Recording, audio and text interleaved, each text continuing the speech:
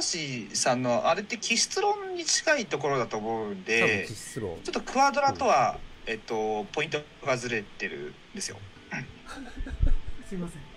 ごめんなさいね。何でまああのクワドラって何かってまあちょっと、まあ、簡単に言えれば言うんですけどあの16タイプあるじゃないですか。あの基本的なタイプ訴訟タイプ。って。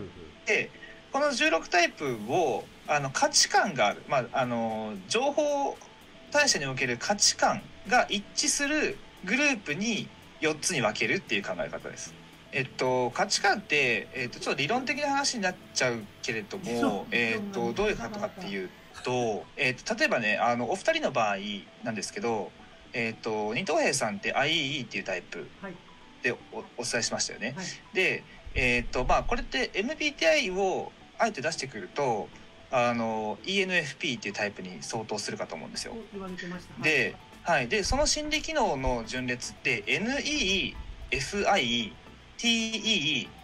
ってなってるはずはい。ですね。うん。で、えー隊長さんの場合は SLI っていうふうに判定したのでえ MBTI でいうと ISTJ って呼ばれているタイプ。はい。はい。機能順列になるはずです。で、それって SITEFINE っていう機能順列になるかと思うんですよ。はいで、でお二人のそのタイプをあのた機能順列を見てみると順番が違うけども出てくる心理機能って一緒ですよね。ああ一緒だはい。一緒だ これも価値観が一致してるっていうふうに言います。同じグループ。同じグループ同じグループの中の別タイプってことです。例えばうん ESTJ っていうタイプもありますよね。まあ、LSE とかってあのソショニクスというタイプは、機能順列が TESINEFI っていう順番になるはずなんですよ。はい。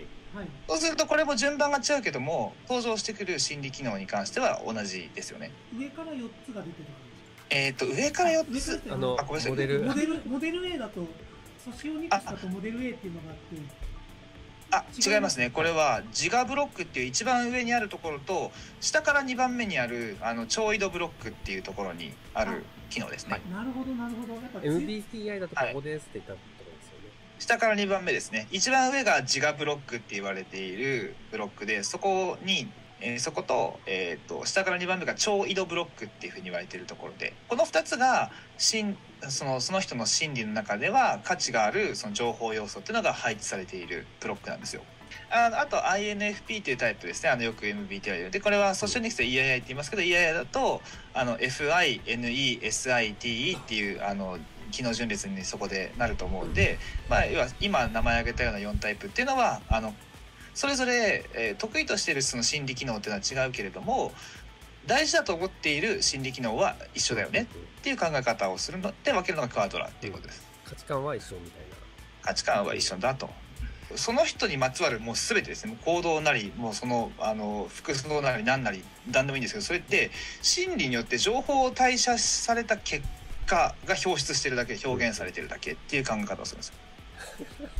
二等兵がこういう風なのはもう全部それを表してるみたいなね。発言から行動から服装とかも。そうです。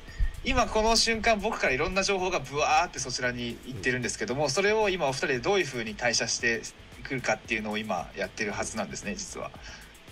はい。えっと、具体的なまあ判定の手順みたいなものって、まあ、本当僕も我流的なところはあるんですけれどもあの見るポイントは本当に全てなんですがあの、まあ、言動、まあ、社会的な立場あるいはその人のもう体勢姿勢ですね姿勢とかえーっとまあ、服装とか、えー何でもいいんですよ。で、えーっとあるいは誰かともうすでにタイプが分かってる割り出せてる人がいたとしたらその人とどういう関わり方をしてるのかなとかって見見るんでも別にいいわけですね。で、えーっとただその時に材料はいっぱいあるんですけどもちゃんと状況を整理しなきゃいけないんですよ。文脈とか。うんこの判定する対象っていうのは今どういう状況の中で何をしようとしているのかみたいなことを、まあ、適切に読み取ってあげる必要が出てくるんですね。あるいはあるいは何ができていないのかとか。はい、で、えーとまあ、そういったことを、まあ、こうまず一回こう国語のテストみたいに言語化してあげてそこからソシオニクスの理論に当て込んでいくっていうのが多分一番無理がないと思います。で とでそれを当て込んでいく時ってその人の今言ってる意味内容そのもの例えばこういうタイプだったらこういうことを言うとかこういう意見になるっていうあの定まったものは実はそんなにないのであの重要なのはあの今この人は、えー、とこういう話をしてるけどもこれって要するに例えば論理的な観点から物事を話してるよねとか今感覚的な情報に、えー、と着目しているのが分かるよねみたいにちょっとメタ的に解釈していくのがまああの正しいかなと思いますね。論理の人しかできないですね。えっとまあ論理の人しかできないというより多分どっちか直感型の方がこれは得意だと思います。まあわかんないちょっとこれはねあの、まあ、僕も僕ぐらいできる人あんまり知らないんですよ。あの判定って、まあ、僕もすごいできるっていうかわかんないですけどあんまりこう周囲に言わないとどうどうなのかわかんないけど。せ先生は ENTP ですか？違います。なるほど。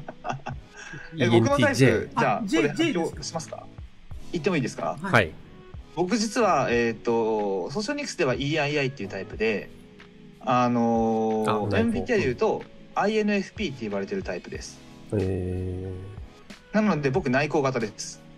芸術家だ。なんかよく仲介者っていうふうになんかい言われてますねなんかネットで。ー、16タイプのやつ。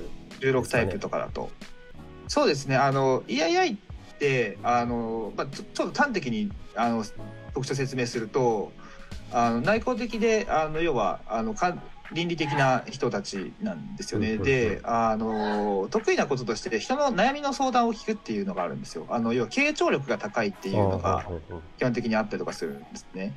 でなのであのキャリアカウンセラーっていうのは結構仕事として合ってるんじゃないかなって当時思ってソショニクス的にそういう資格を取ったっていう経緯があります。T タイプではないんですね。先あ僕ですか、はいあそうですね僕はあの倫理型です感情型です。ああ、じゃあ、私も修練を積めば、そうなれる。理論的に話せるようになる。そうですねあのでも僕もあの今まあちょっとどういう印象かわからないですけどあんまり論理的なことはやっぱりそんな得意ではないですよ今でも。なるほど。